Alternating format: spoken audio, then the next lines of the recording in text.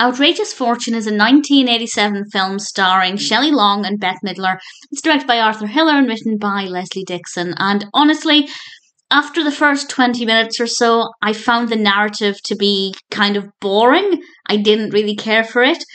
But Shelley Long and Bette Midler's performances are so fantastic that whenever they were on screen, which is pretty much constantly, I really found it captivating. So the narrative didn't interest me after after we started to get a lot of answers very quickly. But the first 20 minutes or so were really solid, and after that, the performances were so good that I didn't really mind the narrative not being interesting.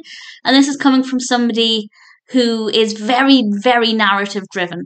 Generally, I need a good narrative to enjoy a film, but I am biased because I do very much love Shelley Long, so I will accept the potential or definite bias there, but their performances were brilliant.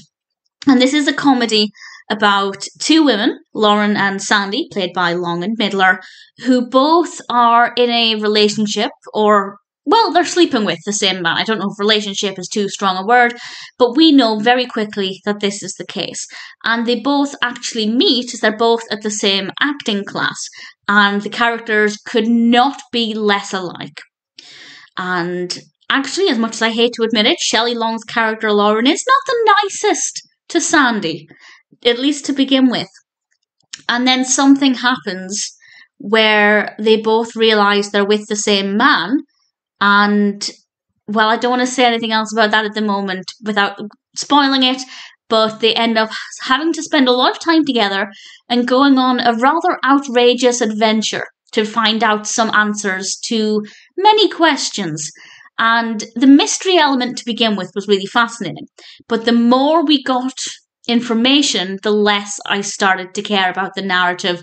And ultimately, the journey that they went on, I just found to be rather boring for my personal tastes. I can certainly see it appealing to some people, but for me, I just didn't care about the specifics of the narrative. However, the performances, as I said, were absolutely fantastic. Really thoroughly enjoyed watching both of them work. They were just so brilliant and they work so well together.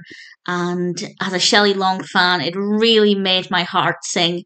It is so unusual, as I said, for me to enjoy a film where I haven't enjoyed the narrative. That basically never happens.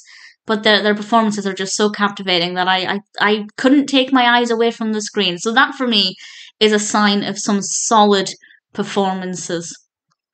I can actually pinpoint the part where it started to get dull for me. So I will say that with a spoiler warning in a moment because at that point we had more answers and I think the suspense should have been held for a little bit longer. It's not meant to be a suspenseful film, it is a comedy.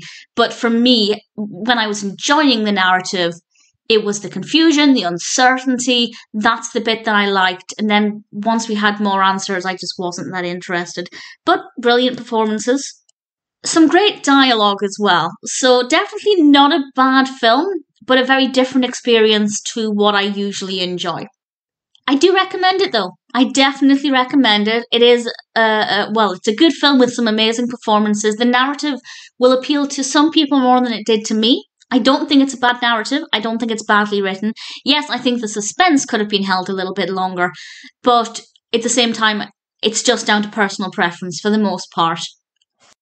But if it's your kind of narrative and you love the performances, you might actually be in for a real treat. So I definitely do recommend Outrageous Fortune. So, with a spoiler warning from now, I will tell you the point where I kind of started to lose interest.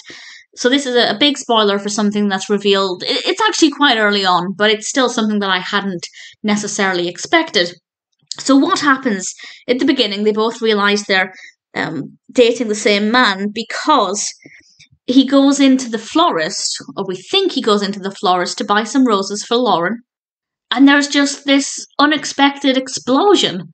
And both Lauren and Sandy are, are at the morgue to look at the body, and that's when they both realise they're dating the same person.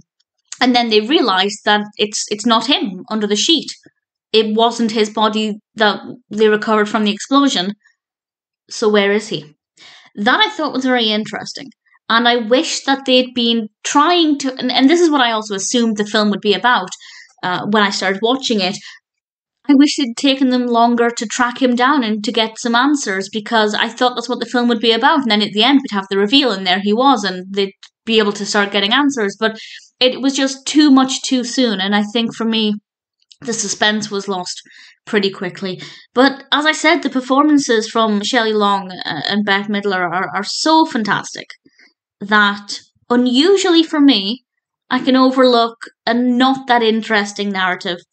Their performances were so good that I can't help but say that actually I still rather enjoyed Outrageous Fortune.